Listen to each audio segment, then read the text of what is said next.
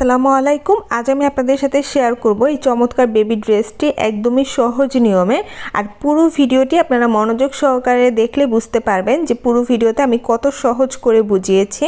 যাতে করে সেলাই কাজে যারা একেবারেই নতুন, তারাও একবার দেখলেই বুঝতে পারেন। তো চলুন আজকে ভিডিওটি শুরু করা যাক। ড্রেসের জন্য কাপড় নিতে হবে। বেবিদের লম্বা যা, তার থেকে ডাবল কাপড় নেবেন আর হচ্ছে সাথে কিছু বাড়িয়ে নিতে হবে। তো এখানে আমি হচ্ছে তিন থেকে চার বছরের বেবির মাপ অনুযায়ী ড্রেসটা তৈরি করব। প্রথমে আমি হচ্ছে সাড়ে তিন হাত বহরে একটা লিলেন কাপড় নিয়ে দুই ভাজ করে নিয়েছি। আর এটা বন্ধ পাশটা আমি হচ্ছে আমার আমি যে পাশে আছি সেটাতে নিয়েছি। এখানে লম্বা হচ্ছে আঠাশ ইঞ্চি কাপড়টার। এরপর এই কাপড়টা দুই ভাজে আছে। এখন এইভাবে করে আমব্রেলা শেপ করে আমি কাপড়টাকে চার ভাজে সুন্দর করে ভাজ করে নিয়েছি। তো এভাবে ভাজ করার পর এখন আমি যে সাইডে আছি সেটা হচ্ছে বন্ধ, ঠিক আছে? এখানে বন্ধ আছে আর এই দুই সাইড হচ্ছে খোলা। এরপর এখন আমি মাপ নিয়ে নিচ্ছি। তো এখান থেকে হলো আমি টোটাল যে শোল্ডার মাপটা আছে সেটা নিচ্ছি সাড়ে পাঁচ ইঞ্চি পরিমাণ।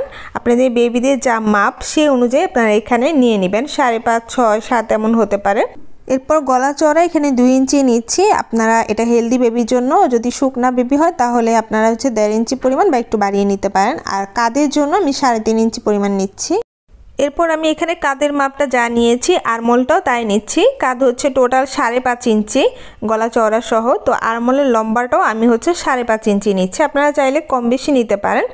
এরপর এভাবে করে হলো আমি একটু রাউন্ড শেপ করে নিয়েছি। এখন গলা লম্বাটা তো গলা লম্বাটা হচ্ছে আমি সাড়ে তিন ইঞ্চি দিলাম সামনের গলার জন্য এবং পেছনের গলার জন্য দুই ইঞ্চি পরিমাণ গলা লম্বা এবং গলা চওড়াটাও একই রকম থাকবে। তো নিচেও আমি দুই ইঞ্চি দিলাম গলা চওড়াটা দিয়ে এভাবে মার্ক করে নিয়েছি।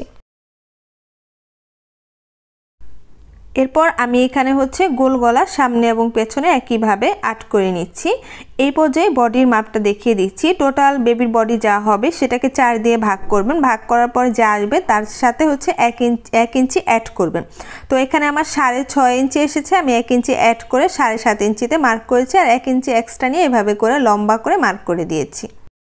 এরপর কাত থেকে ধরে লম্বা মাপটা নিচ্ছি। আমি একুশ ইঞ্চি পরিমাণ এই যে এভাবে সব দিকে কিন্তু এভাবে ধরে ধরে হচ্ছে লম্বা যা হবে মানে যা আপনি রাখতে চান সে অনুযায়ী লম্বাটা নিয়ে নেবেন। আমি এখানে একুশ ইঞ্চি পরিমাণ রাখছি, তিন থেকে চার বছর বেবির জন্য।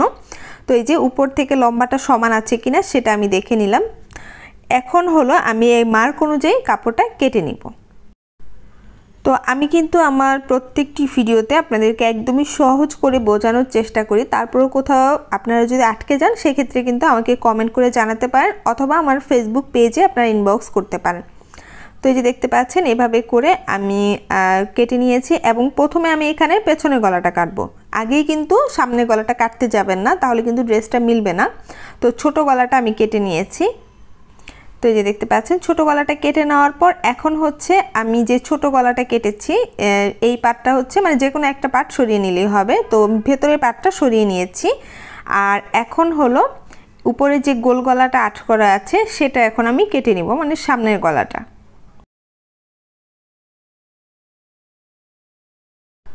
তো এতটুকু কিন্তু কাটিং করে নিয়েছি গলাটাকে। এরপর আমি এটা একটু মেলে দেখাচ্ছি আপনাদেরকে। দেখতে পাচ্ছেন কতটা ঘের হয়েছে। আর এটা এখন আমি উল উল্টো করে নিচ্ছি। এর কারণ হচ্ছে এখানে ইলাস্টিকটা কীভাবে লাগাতে হবে সেটা দেখাবো। তো ইলাস্টিক লাগানোর জন্য হচ্ছে আমি এখানে ইলাস্টিক নিয়েছি। কোমরের যে মাপটা আছে বেবিদের, ড্রেস থেকে কোমরের মাপটা নেবেন, সেই মাপ অনুযায়ী ইলাস্টিক নেবেন অথবা এক ইঞ্চি কম নিতে পারেন। আমি এখানে দুই টুকরো ইলাস্টিক দশ ইঞ্চি করে নিয়েছি। তো এরপর এখান থেকে হচ্ছে আমি আট ইঞ্চিতে একটা মার্ক করছি। কোমর পর্যন্ত যে মাপটা হবে সে অনুযায়ী মার্ক করবেন। এভাবে করে আমি প্রথমে আট ইঞ্চি নিয়েছি, তারপর আবার নয় ইঞ্চি একটু নামিয়ে নিয়েছি, ঠিক আছে? মানে এক ইঞ্চি বাড়িয়ে নিয়েছি। প্রথম আট ইঞ্চি শুরু করেছিলাম, তারপর এক ইঞ্চি মাঝখানে বাড়িয়ে নিয়েছি। তারপর আবারও হচ্ছে আমি আট ইঞ্চি এরকম করে আবারও এই সাইডও মার্ক করে দিচ্ছি। দেখতে পাচ্ছেন? এভাবে মার্ক করে এখন আমি এই মার্ক অনুযায়ী হচ্ছে যে আরও ভালো করে হচ্ছে এখানে মার্ক করে দিচ্ছি। মার্ক অনুযায়ী এভাবে করে ইলাস্টিকটা লাগাবো, সেটা সেলাইয়ের সময় আরও ডিটেলসে দেখিয়ে দিব।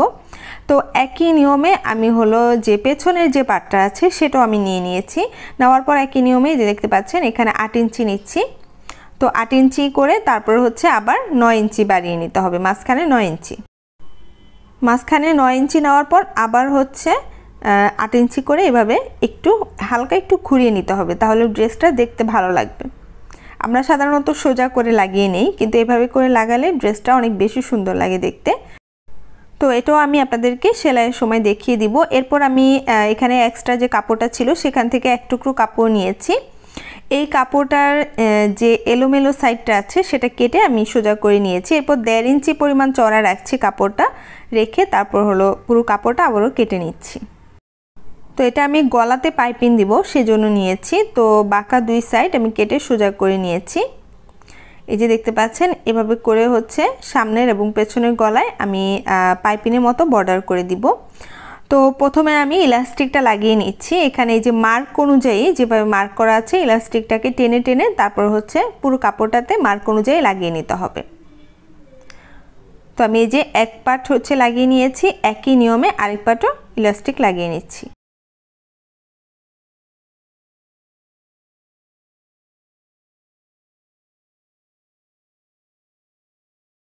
তো এই তো দেখতে পাচ্ছেন ইলাস্টিক লাগানোর পর কেমন হয়েছে দেখতে।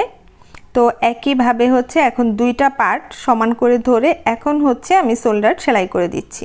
দুইটা কাপড় সমান করে ধরে ভালো করে এখানে স্টিচ করে নিতে হবে।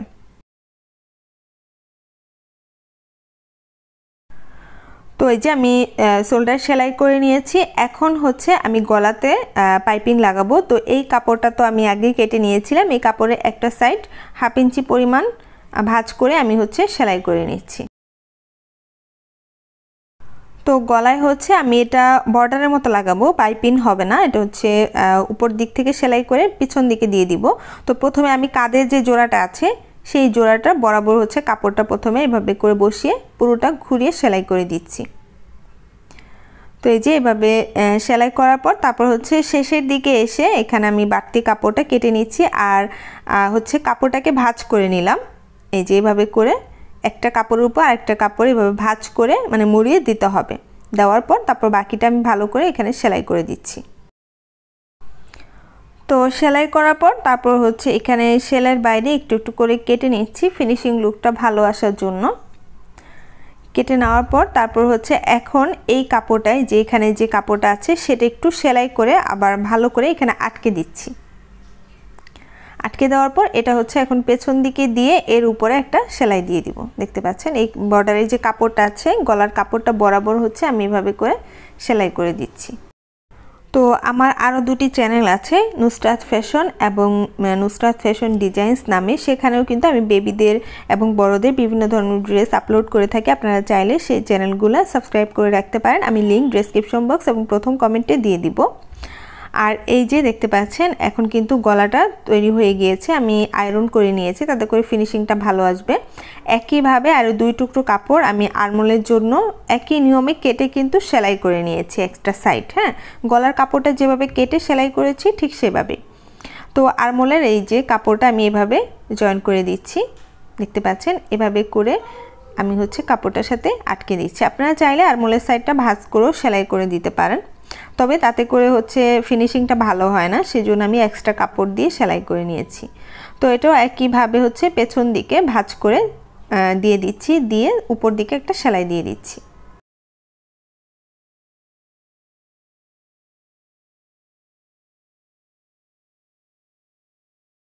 তো একই নিয়মে কিন্তু আমলের দুইটা সাইডে এরকম করে বর্ডার দিতে হবে এক্সট্রা কাপড় দিয়ে। তো একই নিয়মে আমি দুই সাইডেই হচ্ছে এরকম লাগিয়ে নিয়েছি, দেখতে পাচ্ছেন। এরপর আমি কাপড়টাকে এখন হচ্ছে এভাবে দুইটা কাপড় সমান করে ধরে এখন সাইডটা সেলাই করে দিব। এই যে এভাবে করে দুইটা সমান করে ধরে কাপড়টা সাইডটা আমি সেলাই করে দিচ্ছি। তো সেলাই শুরুতে কিন্তু ভালো করে স্টিচ করে নিতে হবে। এই যে দেখতে পাচ্ছেন, আমি কিন্তু এখানে ভালো করে স্টিচ করে নিচ্ছি এবং শেষও ভালো করে স্টিচ করে নিতে হবে। তো এক সাইড সেলাই হয়ে গিয়েছে, একই নিয়মে আমি আরেক সাইডও কাপড়টা ভালো করে ধরে তারপর হচ্ছে সেলাই করে দিচ্ছি।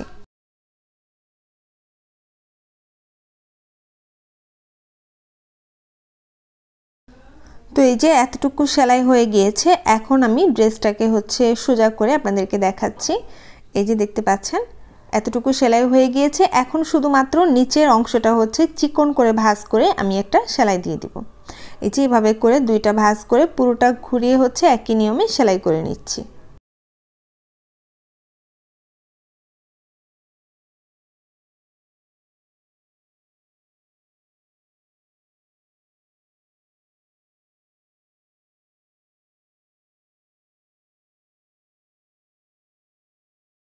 তো এই তো সম্পূর্ণ ড্রেসটা তৈরি হয়ে গিয়েছে। আশা করছি আজকে এই ভিডিওটি আপনাদের কাছে খুবই ভালো লেগেছে। যদি ভালো লাগে অবশ্যই ভিডিওতে একটি লাইক দিবেন, কমেন্ট করে আপনার মতামত জানাতে ভুলবেন না, আর চ্যানেলটি সাবস্ক্রাইব করে রাখবেন। আজকে এই পর্যন্ত অনেক অনেক ভালো থাকবেন। আল্লাহ হাফেজ।